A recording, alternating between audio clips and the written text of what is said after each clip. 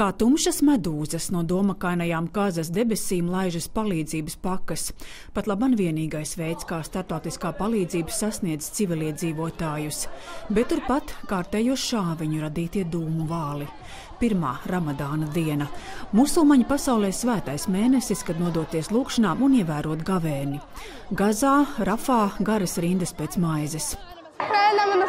Es savu daļu dabūju, bet, kā redzat, cilvēku ir daudz, tāpēc var paiet 5 līdz 6 stundas, pirms varēsiet kaut kur tikt.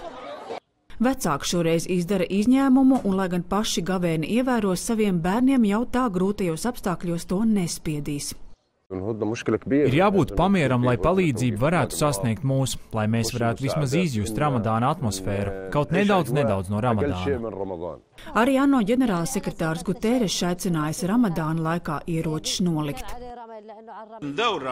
Lai gan ramadāns ir sācies, Gazā turpinās slepkavības, bombardēšana un asins izliešana.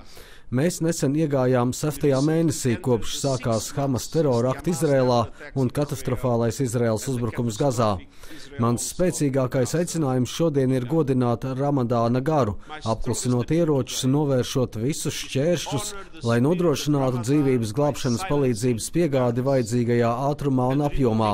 Tajā pašā laikā un Ramadāna līdzjūtības garā es aicinu nekavējoties atbrīvot visus ķīlniekus. Pasaules acis skatās. Taču par pamieru pat labā nav runas. Izraels premjerministrs Benjamins Netanjahu ir noraidījis ASV prezidenta Džo Baidena pārmetumus, ka Netanjahu nodara Izrēlai vairāk pāri nekā palīdz, un Izraels televīzijā paziņoja, ka viņa valsts iet uz pilnīgu uzvaru un ka Izrēlai ir izdevies nogalināt vienu no Hamas galvenajiem līderiem.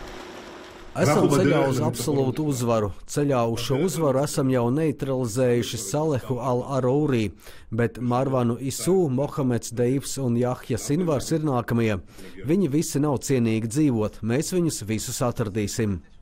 Netanjahu un Baidena domstarpības padziļinās. ASV prezidents turpina kritizēt Izraels nodomu veikt uzbrukumus Rafas pilsētā Gazā, lai iznīcinātu Hamas pozīcijas, jo tas draud ar lieliem civiliedzīvotāju upuriem, jo pilsētā pat labi ir patvērušies aptuveni pusotra miljonu palestīniešu. Bet Netanjahu ir teicis, ka Baidens savā kritikā kļūdās un nekas, ko viņš dara, nav pretēji Izraels interesēm.